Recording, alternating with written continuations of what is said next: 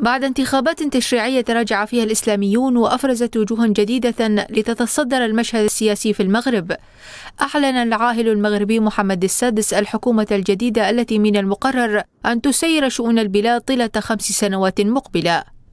الحكومة الجديدة كلف برئاستها عزيز أخنوش بعد أن حل حزب التجمع الوطني للأحرار الذي يرأسه في المركز الأول في الانتخابات. وستكون حكومة ائتلافية تضم أيضا حزبي الأصالة والمعاصرة الليبرالي والاستقلال المحافظ. وحافظ وزير الخارجية ناصر بوريطة على حقيبته. كما بقي عبد الواهفي لفتيت في منصبه وزيرا للداخلية.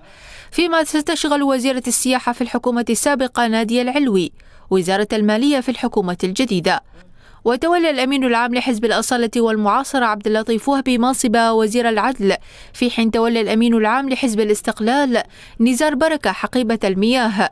بينما ضمت تشكيلة الحكومة الجديدة سبع نساء بينهن رئيسة بلدية مراكش السابقة فاطمة الزهراء المنصوري. الوزراء الجدد بالإضافة لرئيس الحكومة أدوا اليمين الدستورية الخميس أمام الملك بالقصر الملكي في مدينة فاس بحسب مصادر إعلامية محلية. ومن المقرر أن يفتتح الملك الدورة التشريعية للبرلمان الجديد بخطاب من القصر على عكس ما جرت العادة بسبب احتياطات فيروس كورونا.